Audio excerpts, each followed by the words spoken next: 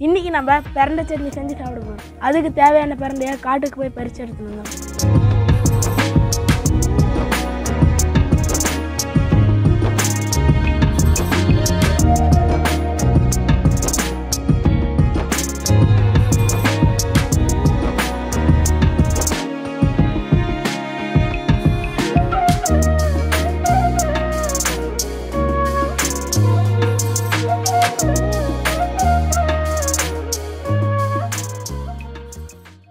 தேன்சுவை சேனலுக்கு உங்களை அன்போடு வரவேற்கும் இன்றைக்கி பார்த்தீங்கன்னாக்கா ஒரு வித்தியாசமாக டிஷ் சமைக்க போகிறோம் அதான் வந்து பிரண்டை. பிரண்டைன்னு சொன்னாலே இது மூலிகை. முக்கியமாக பார்த்தீங்கன்னாக்கா இந்த எலும்பு தேய்மான மூட்டு வலிகளாக அது பயன்படுறது. அது மட்டும் இல்லாமல் நிறைய குடல் சார்ந்த நிறைய வியாதிகளுக்கு வந்து மனுஷனுக்கு வந்து ஒரு அருமருந்தாக பயன்படுது. இதை வச்சு தான் நம்ம இன்றைக்கி வந்து பிரண்டை சட்னி பண்ண போகிறோம் சூப்பராக சாப்பிட போகிறோம் வாங்க எப்படி சமைக்கிறதுன்னு பார்க்கலாம். கிராமப்புறங்களில் நிறைய கிடைக்கும். கிராமப்புறங்கள் சொல்கிறத விட காட்டுப்பகுதி நிறைய வயல்வெளி பகுதியில் நிறைய இருக்கும். இந்த பிரண்டை வந்து ரொம்ப திக்காக இருக்குது பாருங்கள் நம்ம க்ரீனாக டார்க்காக இருக்கு இல்லைங்களா இது வந்து நம்ம வந்து எடுத்துக்கூடாது முடிஞ்ச அளவுக்கு இந்த மாதிரி துளிராக இருக்கிறத எடுத்துக்கணும். ஏன் அப்படின்னாக்கல இங்கே இருக்கு பாருங்கள் இந்த மாதிரி துளிராக எடுத்தீங்கன்னாக்கல இதை வந்து ஈஸியாக நம்மளால் உடச்சிக்க முடியும். ரெண்டாவது சாப்பிட்றதுக்கும் வந்து அது நல்லா இருக்கும் பச்சை இறக்கல உரிச்சோம் அப்படின்னாக்கல ரொம்ப நாராக இருக்கும். சாப்பிட்றது ரொம்ப கஷ்டம். இது பார்த்தீங்கன்னாக்கல தண்டு ரொம்ப பெருசாக இருக்குது இதில் பாருங்கள் உள்ளே வந்து அந்த தண்டை எடுக்க முடியாத அளவுக்கு ரொம்ப நாராக வருது. அதனால் இலசா இருக்கிறத எடுத்துக்கிட்டோம் அப்படின்னாக்கல சமைக்கிறதுக்கு ஈஸியாக இருக்கும் சாப்பிட்றதுக்கு எந்த விதமான பிரச்சனை இல்லாமல் இருக்கும். முடிஞ்ச அளவுக்கு இந்த மாதிரி வந்து இலசா இருக்கிறத பார்த்து எடுத்துக்கோங்க. சுவையான பிரண்டை சட்னி செய்ய தேவையான பொருட்கள்.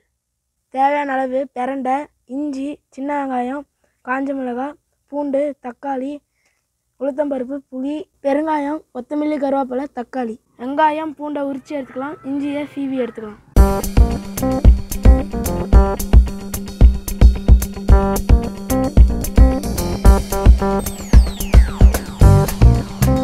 அதுக்கு முன்னாடி நம்ம பிரண்டையை நல்லா சீவி கட் பண்ணி எடுத்துக்கலாம்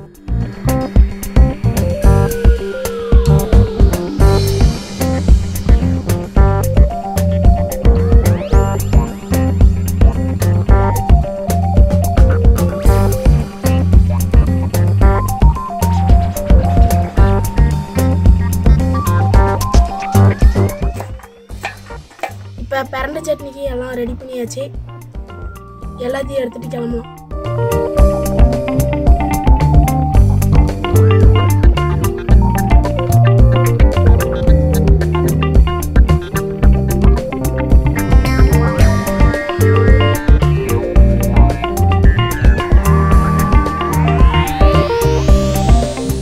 முதல்ல தேவையான அளவுக்கு எண்ணெய் ஊற்றிக்கலாம்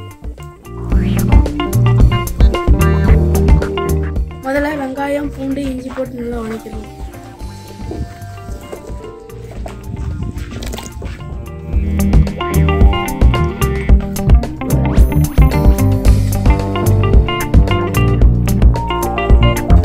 வெங்காயம் நல்லா வணங்கின முன்னாடி தக்காளி மிளகா கொத்தமல்லி கருவேப்பிலை போட்டு நல்லா வணக்கிடணும். இப்போ நம்ம அரை ஸ்பூன் பெருங்காயம் போட்டுக்கலாம்.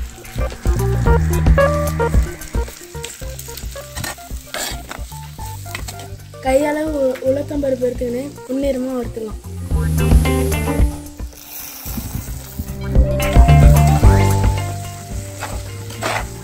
நல்லா வதங்கின பின்னாடி தனியாக ஒரு பாத்திரத்தில் எடுத்து வச்சுக்கணும்.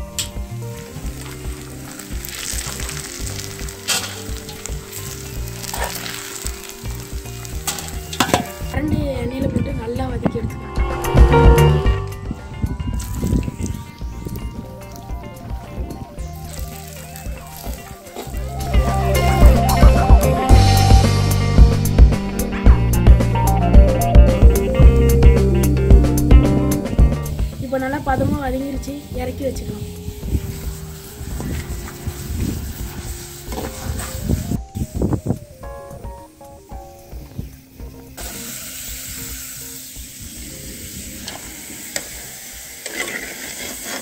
கடைசியாக தேங்காயும் புளியும் எண்ணெயில் போட்டு நல்லா வதக்கி எடுத்துக்கணும்.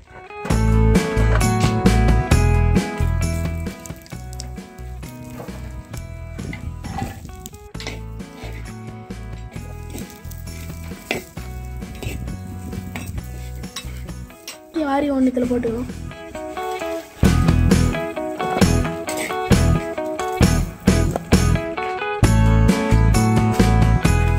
எல்லாத்தையும் ஒன்றா போட்டு உப்பு போட்டு நைஸாக வச்சுக்கலாம்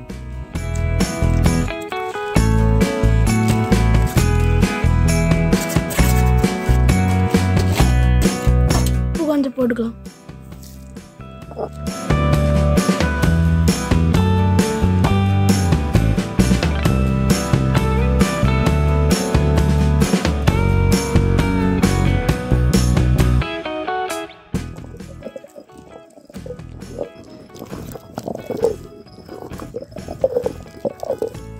நல்லா நைஸாக ஆட்டியாச்சு இப்போ எல்லாத்தையும் எடுத்துக்கலாம்.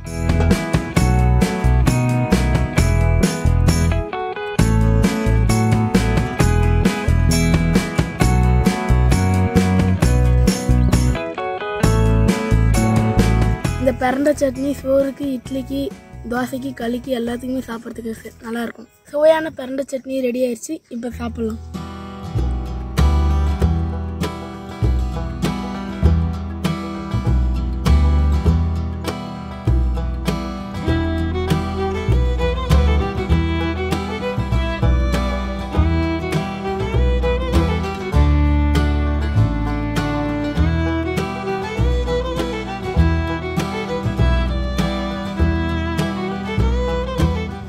டேஸ்ட்டாக இருக்குது. நீங்களும் இந்த மாதிரி வீட்டில் செஞ்சு பாருங்கள்